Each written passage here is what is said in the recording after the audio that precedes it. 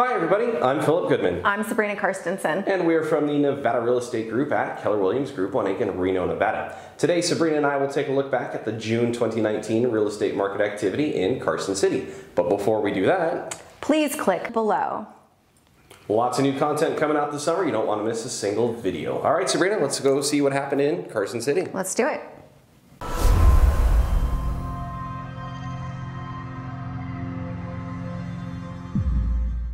We have pulled the data from MLS for June 2019 sales in Carson City, looking at 2019 on top and 2018 on the bottom. Sabrina, what happened? Normally, June is one of the busiest months for sales, but not this June in Carson City. The 56 units sold are 23 fewer than May and 21 fewer than June 2018. The median price rose about 3% over last month and about 5% last year. Average days on market only dropped three days from May.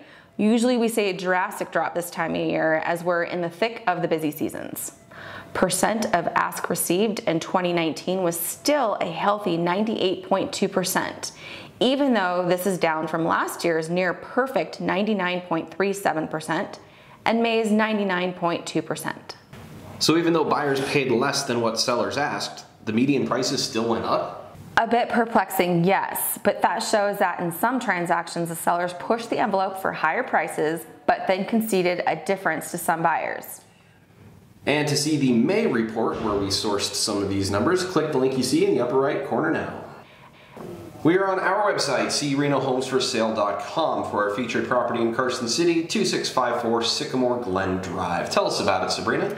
This bright and beautiful property is $359,000 four beds, two and a half bathrooms, and 1,768 square feet.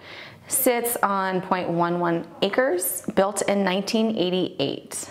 I'm going to really talk about the bones of this property, the location of the property, the light that's coming in, the openness. So if you were to come in here, you can just come right in and move in, or you can just take the time to update certain areas like the kitchen, but it's in such a way that you can just leave it as well. So as I mentioned before about this home, it has really great bones, it's really open, really bright, and the backyard is immaculate. Shade trees, grass, it is perfect. You don't need to do anything when you come to this backyard. Except have your friends over for a barbecue.